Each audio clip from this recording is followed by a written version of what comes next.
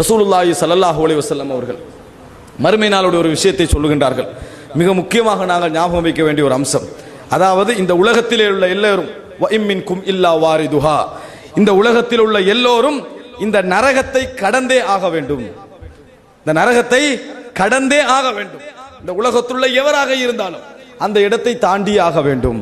பின்னர் சும்ம நுனஜில்லதீன தகவ் வனதருத்தாலிமீன தாலிமீன ஃபீஹா யார்களெல்லாம் இரையச்சம் உடையவர்களாக வாழ்ந்தார்களோ அவர்களை அல்லாஹு தாலா காப்பாற்றுவான்.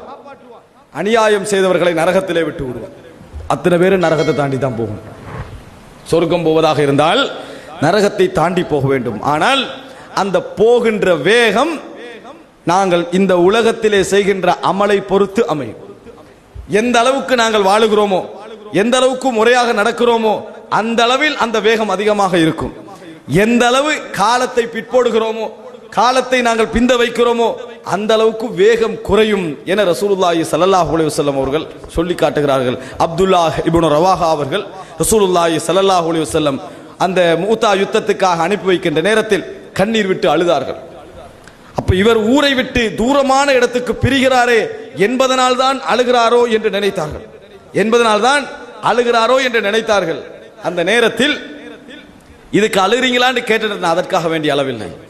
நான் அதற்காக வேண்டிய அளவில்லை. நான் இந்த ஜிஹாதில் உயிர் கொடுத்து போராடி கொல்லப்பட்டாலும் நான் நரகத்தை தாண்டித்தானே சொர்க்கம் செல்ல வேண்டி இருக்கிறது என்பதை நினைத்துத்தான் கண்ணீர் வடிக்கிறேன் என்று சொன்னார். அதை தாண்டித்தானே நான் சொர்க்கம் செல்ல வேண்டி இருக்கிறது என்பதை நினைத்துத்தான் கண்ணீர் வடிக்கிறேன் என்று சொன்னார்கள் அன்புள்ள சகோதரர்களே.